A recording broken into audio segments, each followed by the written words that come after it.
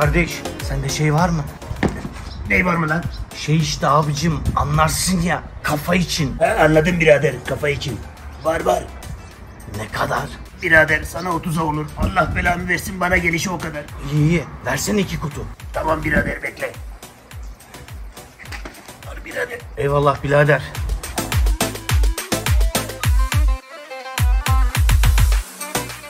Abi sen az önce gizlice ne aldın? Kim ben mi? Ben bir şey almadım oğlum. Vallahi bir şey almadım ben. Aldın abi aldın gördüm. Niye yalan söylüyorsun ki?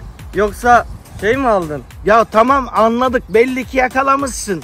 Ama ağrı kesici aldım oğlum. Abi niye gizlice aldın bakalım? Niye olacak be oğlum? Tanıdık biri görmesin diye. Abi niye görmesini istemiyorsun ki? Niye olacak? Biri görüp istemesin diye. Zaten zar zor buluyoruz. Kara borsaya düşmüş. Haklısın abi doğru söylüyorsun. Kara borsaya düşmüş. Abi şunun bir tanesini versene ya. Kardeş bunlar var mı sende? Bakayım.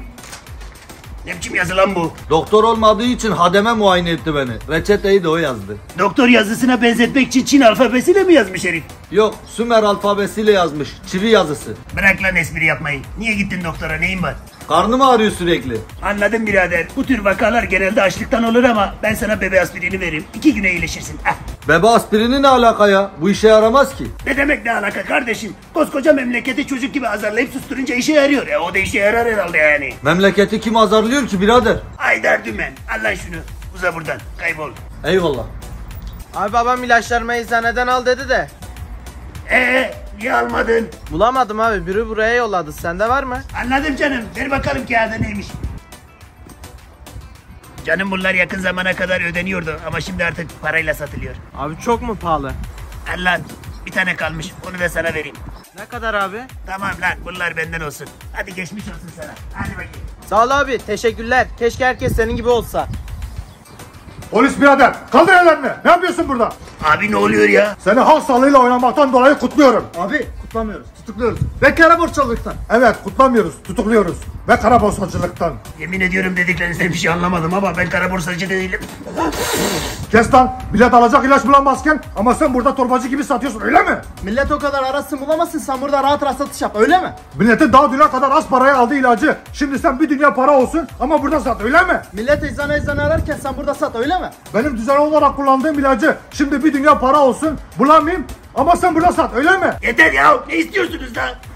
Günlerdir şu ilacı arıyorum. Var mı sende lan? Tamam ya beynimi yediniz sabahtan beri ya. Merak etmeyin size indirim de yapacağım. Sözünden caymak yok ama ha. İndirim de yapacaksın ha. Tamam komiserim merak etmeyin yapacağım dedim ya. İyi iyi o zaman zaten bize polis değiliz. Ve nasıl? Belki bize de yok çekersin diye seni korkutmak istedik ya. Yavaş yavaş ilaç da bulamaz olduk ondan yani. Anlıyorum komiserim. Şey yani abicim ben zaten korktuğum için indirim yaparım demedim ki. Ee ya ne için dedin? İnsanlık olsun diye dedim abicim. Zaten insan sağlığını beş paralık ettiler. Bir de biz birbirimize üçkağıt yaparsak halimiz nice olur. Ah bunlar sizin. Eyvallah. Dikkat ettiysen gebeten de sorgulamadık ha.